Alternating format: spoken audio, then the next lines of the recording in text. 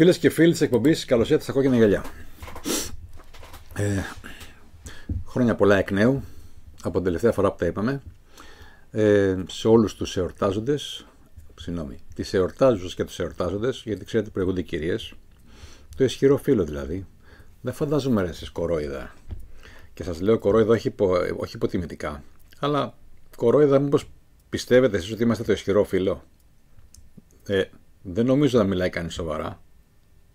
Α.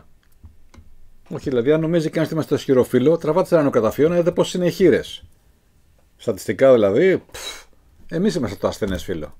Αφού μας στέλνουν μια ώρα αρχίτερα. Τι λέτε τώρα, πλάκα κάνουμε. Να σοβαρευτούμε λοιπόν και να γυρίσουμε στα της εκπομπής. Είναι Σάββατο μεσημέρι. Παιδιά, έχω μπερδευτεί με τις μέρες. Νομίζω ότι είναι Παρασκευή. Οπότε είναι προπαραμονή τέλος πάντων πρωτοχρονιάς. Ε, την γυρίζω την εκπομπή γιατί παραμονή θα ταξιδεύω. Θα την κοπανίσω με ελαφρά πηδηματάκια από το κλίνον Άστη, Παύλα Αττική.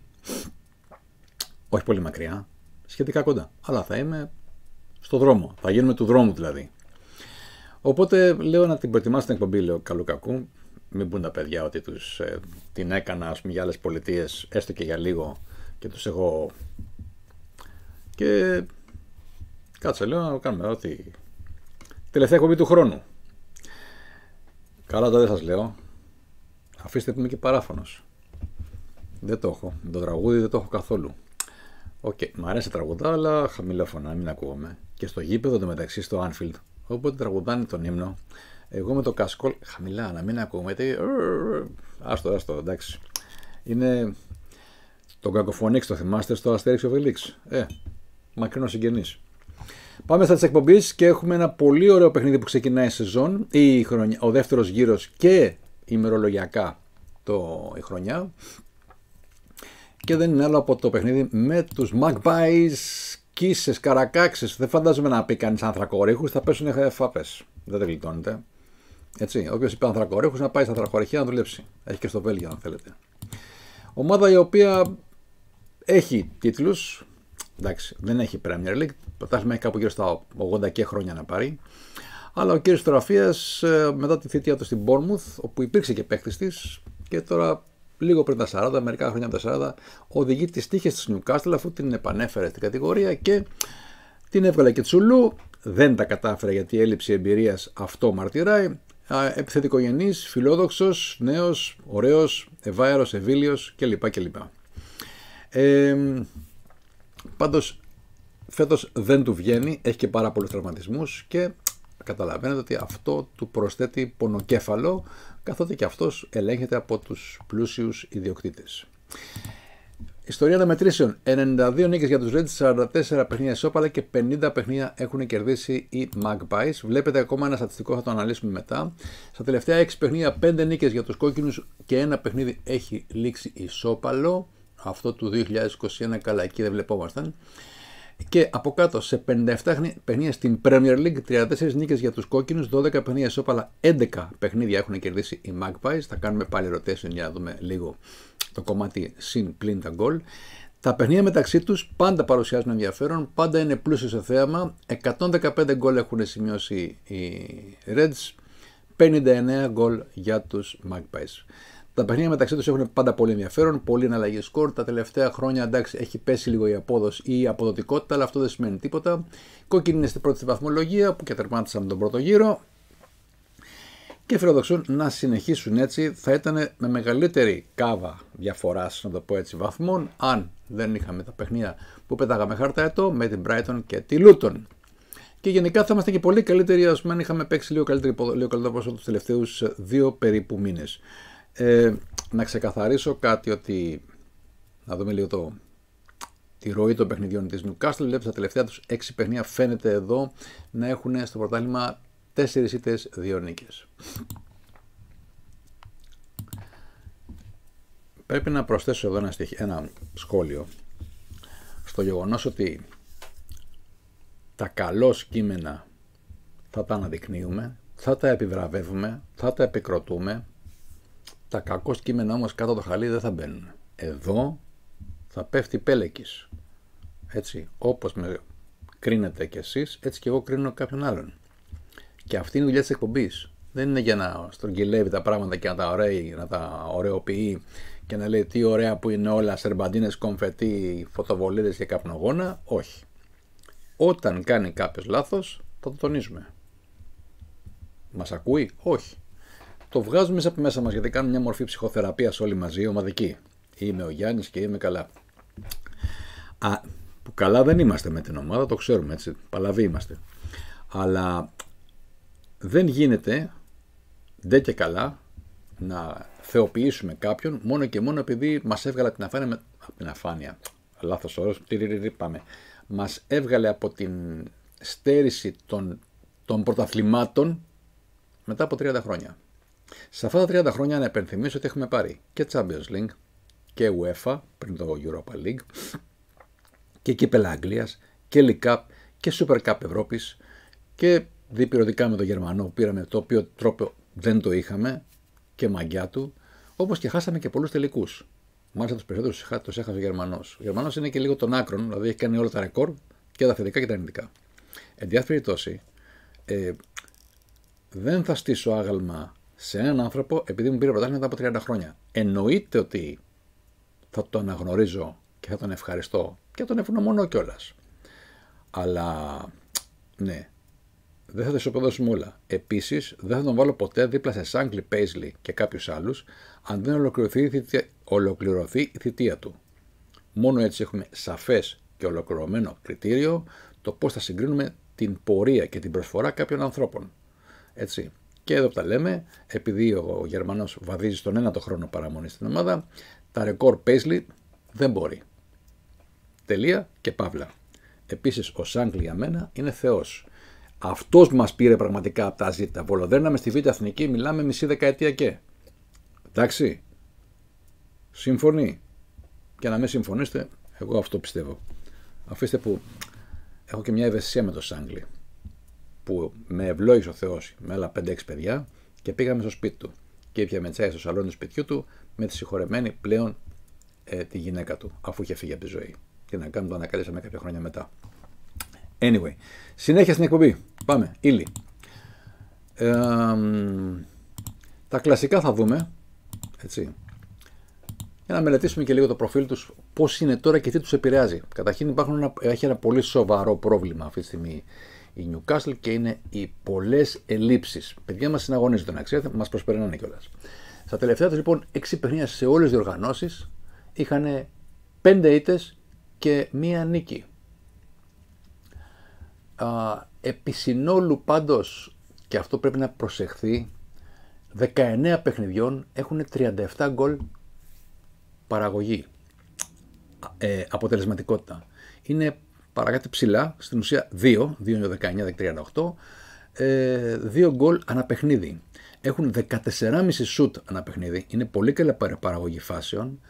Ε, το ποσοστό κατοχής το βλέπετε ότι είναι στο 55%, είναι καλή ομάδα, και επίσης το ποσοστό επιτυχίας στις πάσες αγγίζει το 85%. Προσωπικά, αν θέλετε, είναι μια ομάδα η οποία ανέκαθεν μου άρεσε, σεβόμουν πάρα πολύ το ότι προσέφεραν θέαμα, δεν, ήταν, δεν είχε ποτέ η Newcastle νοοτροπία ε, Burnley. Πίσω, πίσω, πίσω, πίσω, πιο πίσω, πιο πίσω, τόσο πίσω πια που μπορεί να βγαίνει και έξω από το γήπεδο για να μηνθούν. Όχι αναπτυσσόντουσαν ακόμα και τις εποχές που δεν είχαν το πλούσιο ρόστερ, τώρα έχουν καλούς παίκτες.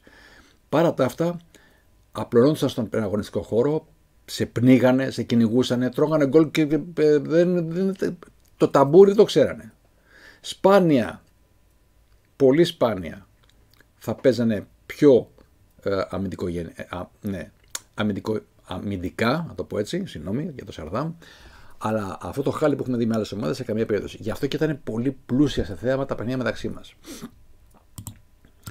Πάμε να δούμε λοιπόν τα προτερήματα και τα ελαττώματα των δύο ομάδων ακριβώς σε έναν συγκριτικό πίνακα όπως βλέπετε δεξιά και αριστερά. Σαφώς οι Reds είναι σε πολύ καλύτερο φεγγάρι. Ασχέτως είπα ότι του τελευταίου διμήνου που η ομάδα ε, μας στεναχώρησε βελτιώθηκε πάρα πολύ αμυντικά, πραγματικά πάρα πολύ αμυντικά και αυτό καθρεφτίζεται και στην απόδοση της άμυνας στα γκολ που έχει δεχθεί. Όμως από τη μέση και μπροστά παρουσιάστηκαν προβλήματα και δεν είναι μόνο οι τραυματισμοί και η εναλλαγή του ρόστερ στο, λόγω του rotation που πρέπει να, πρέπει να γίνεται, αλλά και γενικά οι παίχτες που παίζανε μέσα δεν. Δεν, δυστυχώς. Πάντως, επαναλαμβάνω, αν προσέξετε τα συν και τα πλην των Magpies ή των Καρακαξών, θέλουν πάρα πολύ προσοχή και φυσικά ο Γερμανός το είπε σε συνέντευξη αυτό. Να δούμε λοιπόν το φύγεση έλαση του καλοκαιριού.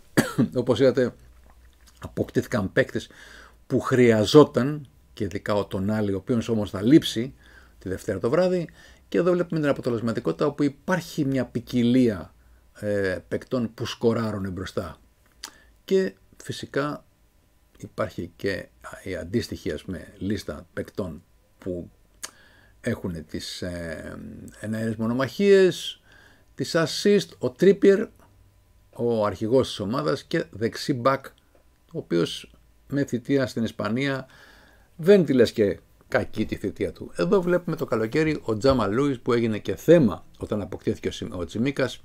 Τον πούλαγε η Νόριτς, δεν τον αγοράσαμε εμείς, δυστυχώς δεν έπιασε τελικά.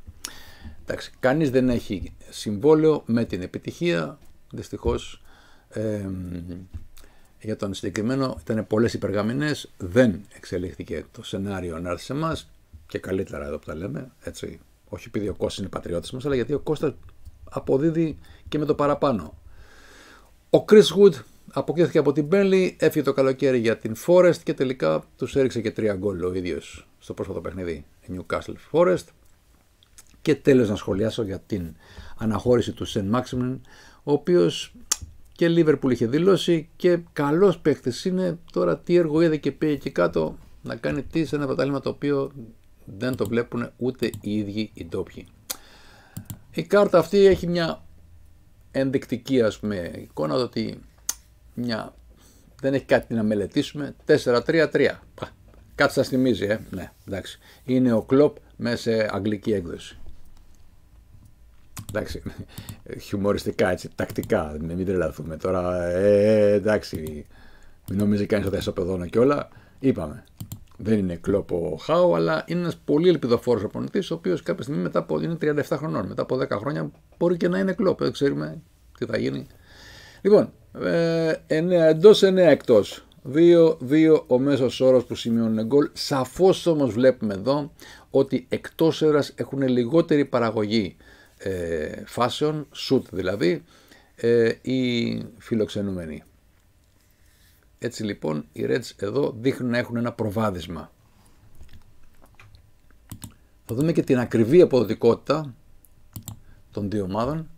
Λοιπόν, στα 9 παιχνίδια μέσα έξω, 22-14 έχουν σημειώσει οι δύο ομάδες και 6-18 επίσης αμυντικά έχουν θεματάκι. Ενώ οι Reds αμυντικά είναι καλύτεροι στο Anfield το οποίο θα πρέπει να το επαναλάβουν. Να πάμε και εδώ στις δύο ομάδες.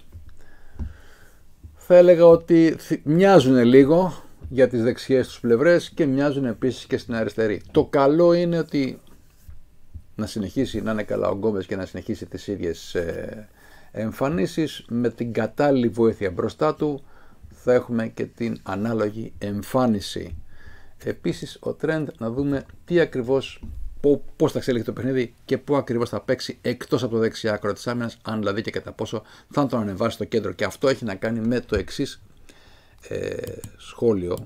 Το σχόλιο μου έχει να κάνει με το εξής παρακάτω σχόλιο που θα κάνω. Να κάνουμε μόνο μια μικρή παρένθεση να δούμε ότι οι τραυματίες όπως σας είπα ε, βλέπετε ότι εννέα παίκτες θα απουσιάσουν, ο άλλοι είναι ακτιμωρημένος. Από εκεί και πέρα βλέπετε ότι αρκετοί παίκτες ε, που, θα, που είναι εντεκάδας θα απουσιάσουν με επίσης ένα παλιό μας νόημα, τον Χαβιέ Μανκίγιο. Ε, ήρθε, έπαιξε μία σεζόν νομίζω επί Ράφα. Ε, μικρός ήταν σε ηλικία, δυστυχώς δεν φτούρισε. Ο Κλόπ μίλησε για όλους τους τραυματίες, θα τα πούμε λίγο παρακάτω. Πάντως με αυτήν την σύνθεση στο δελτίο απόντων, ε, αυτή την ενδεκάδα περιμένουμε να δούμε. δεν ξέρω, ο Χράφενμπεργκ δεν δείχνει να πατάει καλά τις τελευταίες, ε, τα τελευταία παιχνίδια. Έτσι, όντως εγώ περιμένω τον Έλιο ότι σε αυτό θα συμφωνήσω.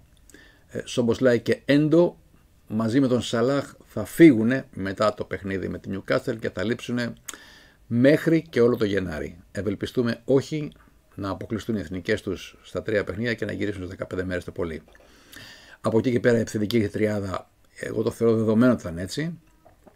Και φυσικά για την άμυνα ο Κουάνσα εδώ είναι λάθος, ο Κουάνσα δεν προπονήθηκε, δεν έχει κάποιο πρόβλημα τραυματισμού. Το πιο πιθανό είναι όμως εκεί να δούμε τον Κονατέ. Βέβαια χωρίς να αποκλείεται τίποτα. Αυτά που σας είπα σχετικά με, την, ε, με τον Κουάνσα που δεν προπονήθηκε έχει να κάνει με την προπόνηση της Παρασκευής. Έτσι, σήμερα Σάββατο που γυρίζει η εκπομπή. Ε, στην προπόνηση της Παρασκευής πήρε μέρος και ο Μακάλιστερ, θα το δούμε παρακάτω.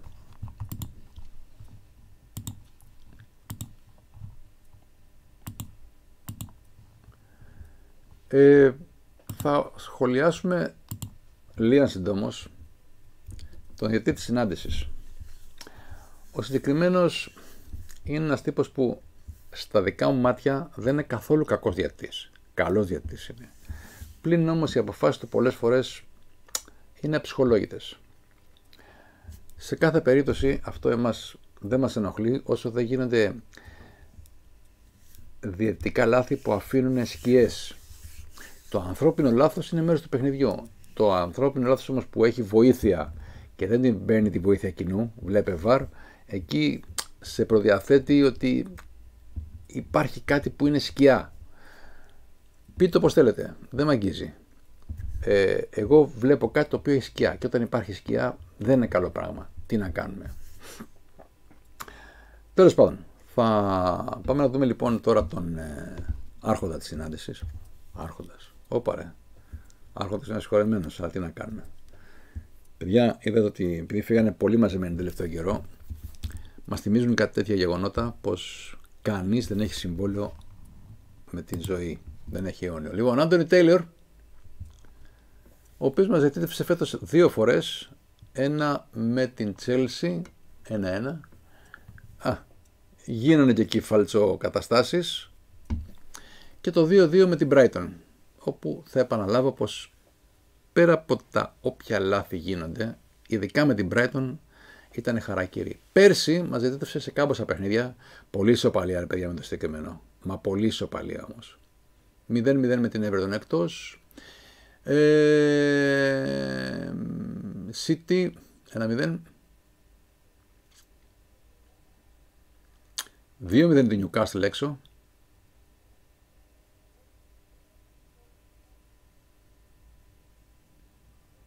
0-0 με την Chelsea.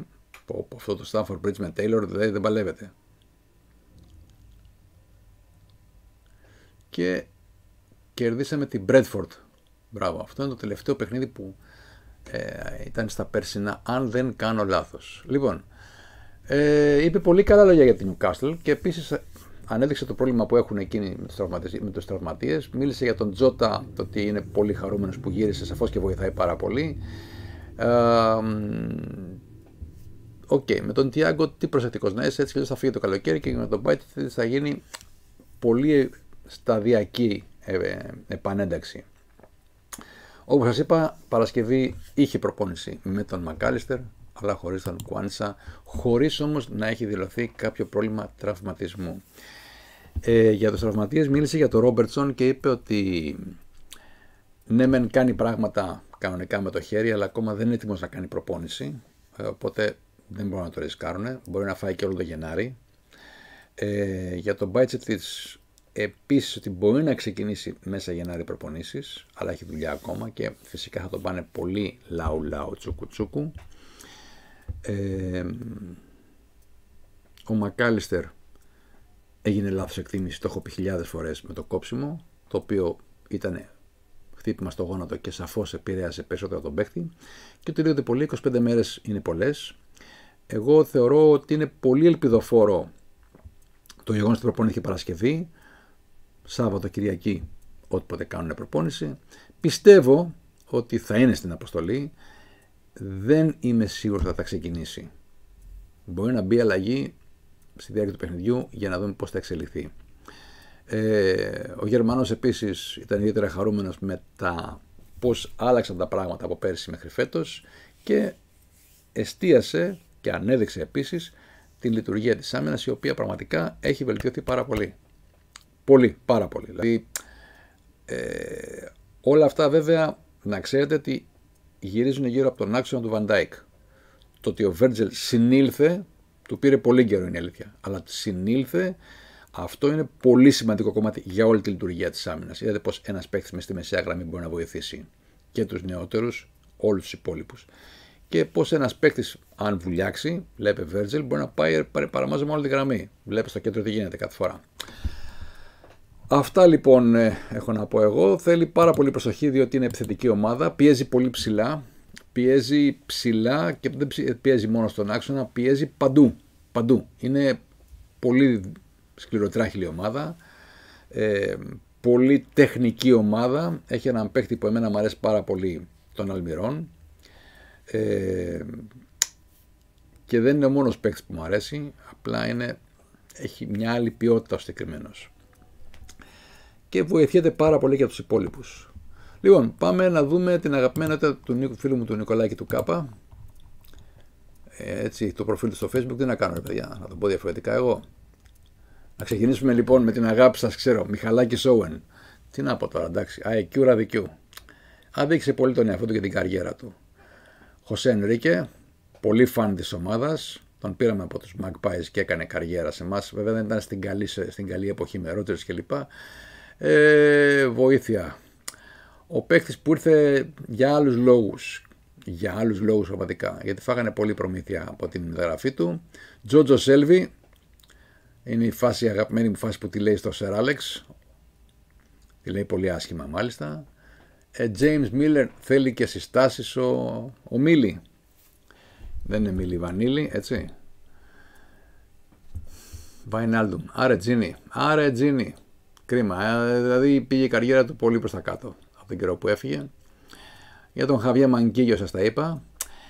Ε, όχι, ε, Μπενίτες είπα. Ε, ναι, ε, φάουλ δικό μου. Ήρθε επί Ρότζερς. Κέβιν Κίγκαν. Άλαν Κέννεδι, αγαπημένος φίλος, Με τον άλλο έχουμε παίξει και μπάλα σε ένα ωραίο έτσι, προπονητικό έτσι, δίτερμα. Πίτερ Μπίτζλι. Τι να πεις για το στραβός αγώνια. Έτσι το λέγαμε για πλάκα. Ιαν Ρούς πέρασε και από τους Magpies ένα φεγγάρι στα τελείωματα πια της καριέρας του. Επίσης ο Τζον Barnes δεν χρειάζεται επίσης στάση για την τεράστια παιχτούρα. Παιδιά, τεράστιος παίχτης. Τεράστιος παίχτης. Δεν φαντάζεστε τι δεν έχετε δει να παίζει. Δηλαδή βλέπετε τα βιντεάκια και δεν φτάνουν. Δεν χορταίνεται ο παίχτης αυτός. Δίντι Χάμαν, τρομερό αμυντικό χαφ. Ε, Κρέγκ Μπέλαμι, στο Μπέλαμι, ωραίος παίχτης. Ε, είχε τα δικά του όμως φαντάσματα να παλέψει και δεν τον άφησε να κάνει και αργότερα την προπονητική καριέρα που θα ήθελε να κάνει. Δούλεψε με τον Κομπανί στην Άντερρεχτ και ένας παίχτης που είχε προσωπικά θέματα να αντιμετωπίσει και οικογενειακά και έπρεπε να φύγει το 12 δυστυχώς. Γεγονός που στεναχώρησε τον Ρότζερ αλλά τον σεβάστηκε και ορθώς έπραξε. Έτσι πρέπει να κάνεις καμιά φορά. Υπάρχει η ίδια η ζωή που είναι πάνω από το ποδόσφαιρο. Και πρέπει να σεβόμαστε την ίδια τη ζωή πρώτα και μετά να σεβόμαστε το ποδόσφαιρο. Ο Σάγκλι το είπε διαφορετικά. Ε, αλλά υπάρχουν πράγματα όπως η γέννηση του παιδιού σου για όσους είναι γονείς ξέρουν. Και ξέρουν δηλαδή αυτό το πράγμα όπως επίσης πολλά άλλα πράγματα. Απλά το ποδόσφαιρο είναι ένας πολύ σημαντικός καθρέφτης της ζωής. Έτσι τουλάχιστον το βλέπω εγώ. Μπορεί να κάνω και λάθος εντάξει, μην αρχίσουμε τις φιλοσοφίες χρονιάρες μέρες έτσι το παιχνίδι εκτάκτως δεν θα το δούμε στο περιστέρι. Το καφέ δεν θα λειτουργήσει πρωτοχρονιά για να πάρουν ρεπό ή το προσωπικό και οι διοκτήτε. Θα μετακινηθούμε στο Ιρλανδέζικο pub στο μοναστεράκι. Στάση μετρό μοναστεράκι. Περνάει και η μπλε και η πράσινη γραμμή από εκεί. Οπότε υπάρχουν επιλογές για όλους τους φίλους να μετακινηθούν εύκολα άνετα και με ασφάλεια. Ε, 10 ώρα τη σέντρα. και φυσικά όλη τη συνέντευξη του Γερμανού συν όλες την ισογραφία που αφορά τους κόκκινους μπορείτε να διαβάσετε στο liverpool.gr τα οποία αναδημοσιεύονται θέματα στα social media που βλέπετε τους τελευταίους 6 μήνες είμαστε και στο Spotify και το κοινό αρχίζει και αγκαλιάζει πολύ έντονα την προσπάθειά μας. Τέλος, έχουμε Bruit για, όποιους, για όσους κάτσουν σπίτι, έχουν το χρόνο να φτιάξουν τη δική τους μπυρίτσα, να κεράσουν τους φίλους τους για όσους φιλοξενήσουν κόσμο και να κάνουν το κομμάτι τους. Σκοτίδας beer. Δεν το είχα σκεφτεί ποτέ αυτό. Ή Scotch beer. Hmm. Μου, μου βάζετε ιδέες, ξέρετε.